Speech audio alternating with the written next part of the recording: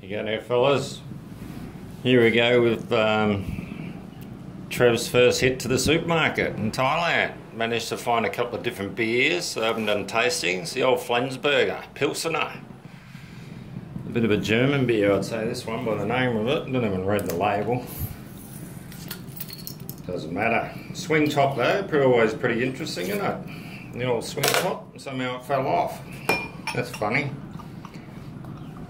Alright. Pilseners are light, not much flavour. Easy drinkers on a hot day. It's stinking fucking hot here too. It's about 35 or probably 33 now. It's dropped a couple of degrees. The aroma, mm,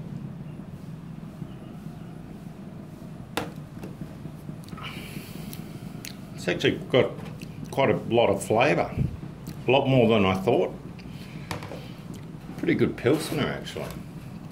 Let's have a look at this. I'd say it's, oh, it's only 4.8%. There you go.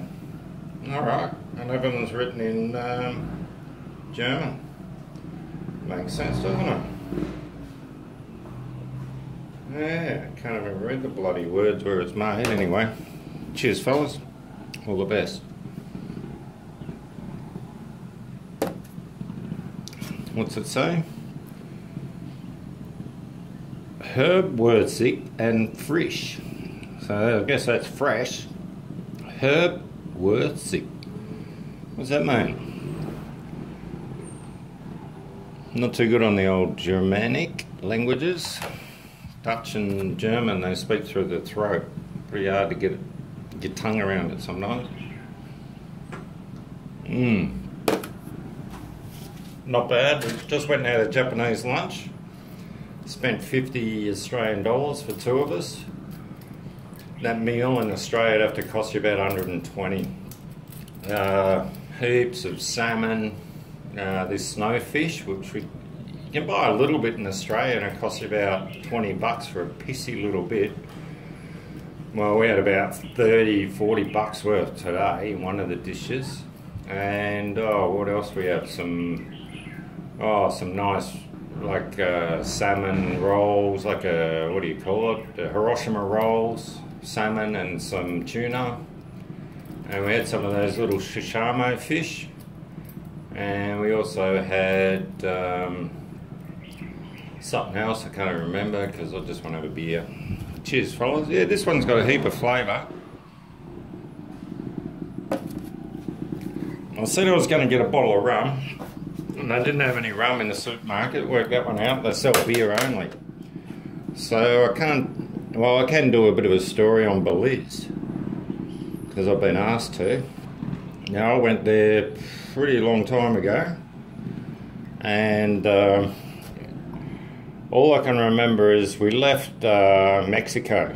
So we spent about two weeks in Mexico, maybe a little bit longer. Uh, Cancun, and we come down the coast, to Tulum, and then we stayed in a little town on the border, a couple of nights.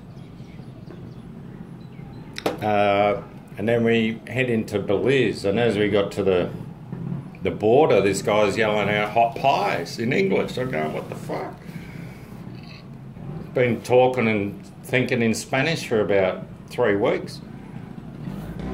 So uh, I had one of the pies and it was really good. And everyone's asking me on the bus, how good's that pie? I said, the best pie, best curry pie I've ever had.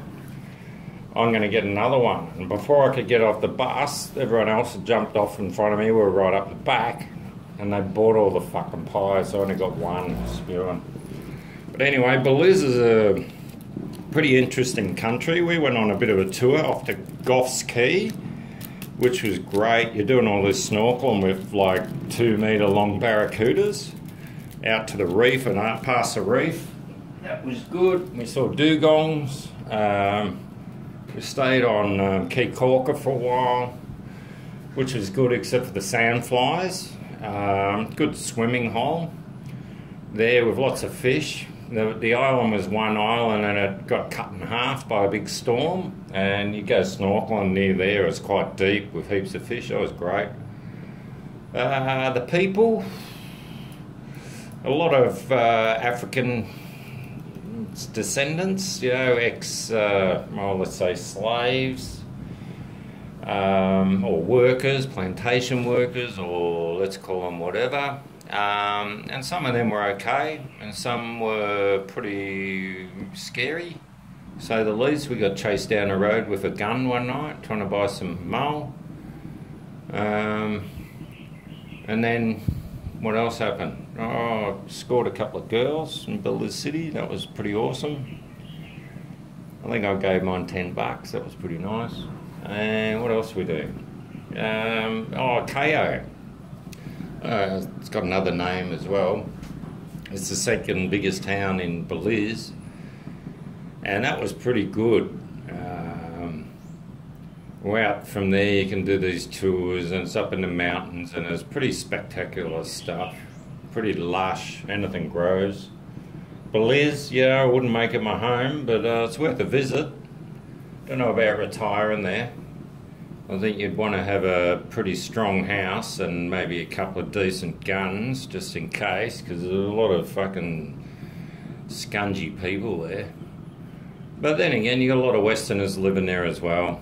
Uh, you see CIA agents everywhere, Caye Caulker and a couple of other places. You know, they're hanging out. I remember in uh, the main town, they were there there as well.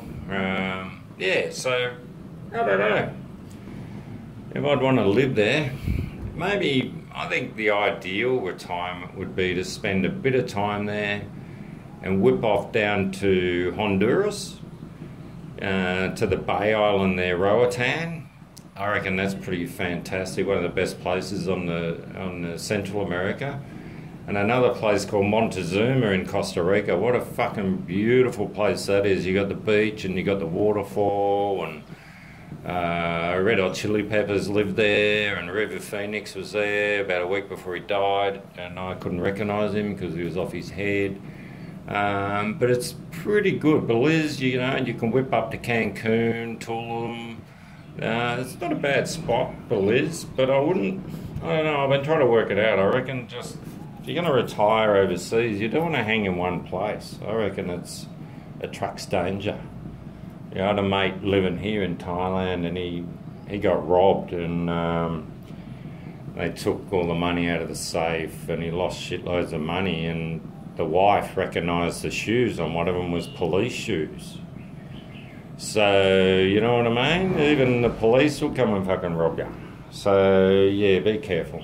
All right, I'll leave you with that, and take it easy. And that's the Flensburger. There's no fucking hamburger there. It's a Flensburger. Glad it's not a Flemburger.